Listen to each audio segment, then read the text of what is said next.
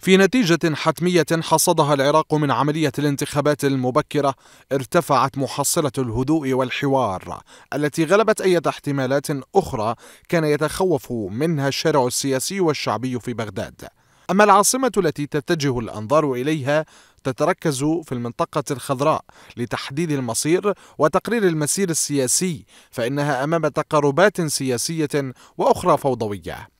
في الجهة المقابلة وعند الكتلة الأكبر. يتمتع التيار الصدري والذي يقوده مقتدى الصدر باهتمام عربي ودولي. سيما ما جاء مؤخرا في أوراق ميدل إيست آي من تفسير قريب من مربع القرار الصدري. حيث التوجه لمفاجأة التوازن التي يريدها الصدر وتغيير الشكل المعروف سابقا في بناء البيت السياسي تحديدا في أروقة البرلمان التي تحدد بناء الحكومة الجديدة وتشكيل نوعها وبرنامجها المقبل. الغرب الذي يحلل وفق حسابات الأرقام والقيمة السياسية فإنه ينظر إلى أن مكوك القادة السياسيين الذين يعتزمون طرح مبادرات من شأنها تعزيز البنية الانتخابية في العهد المقبل فسرت بطريقة تأمين عدد للمقاعد بشكل أكبر في البرلمان للدخول في تشكيل حكومة توافقية.